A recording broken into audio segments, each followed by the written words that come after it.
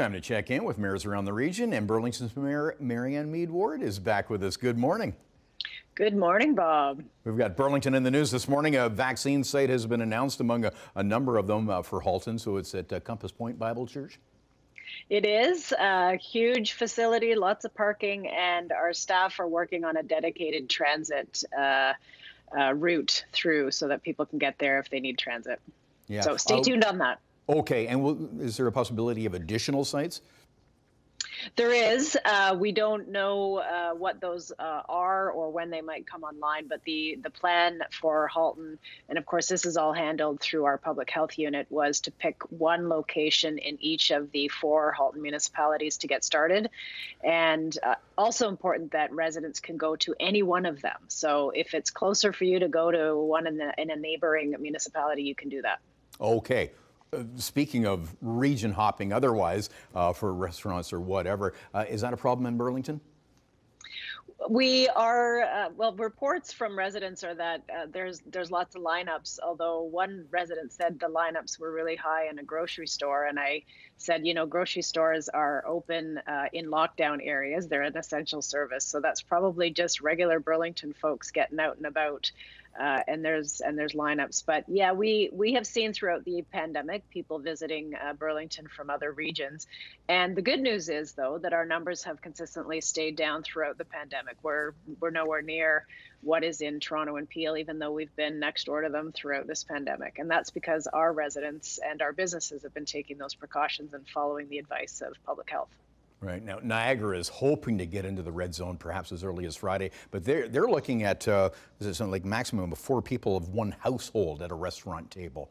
Um, have you ever look at that, or is it necessary for Burlington? Well, that is the that's the provincial regulation actually. So that applies to everybody.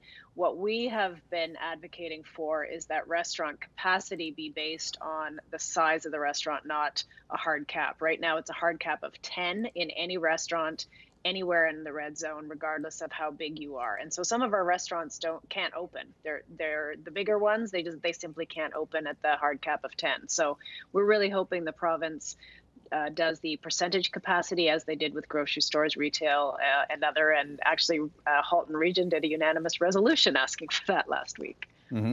Okay, let's get to some non COVID stuff. You're teaming up with the city of Hamilton to fight the federal government's plan to uh, ban the public from uh, canal piers.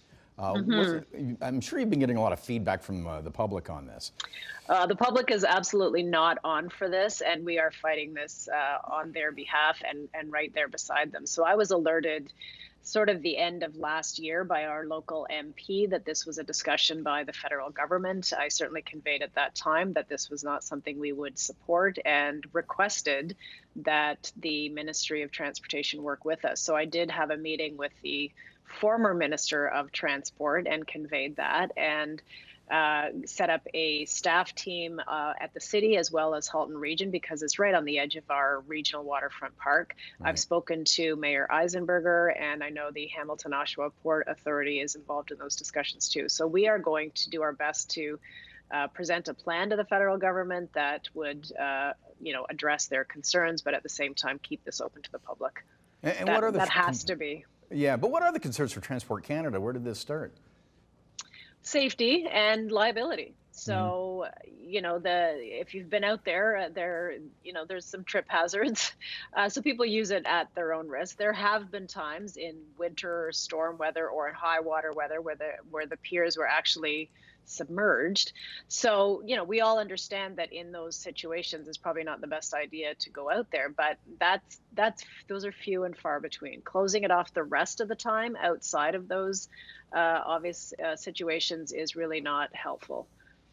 Okay. Um, we probably we only have a few seconds left, and I wanted to get into affordable housing because I know you have some new initiatives there. Why don't we put a pin in that, and we'll talk sure. about that and lots more next week. Burlington Mayor, Marianne, yeah, Burlington Mayor, Marianne Meed Ward. Good to see you. Good to see you, Bob. All right.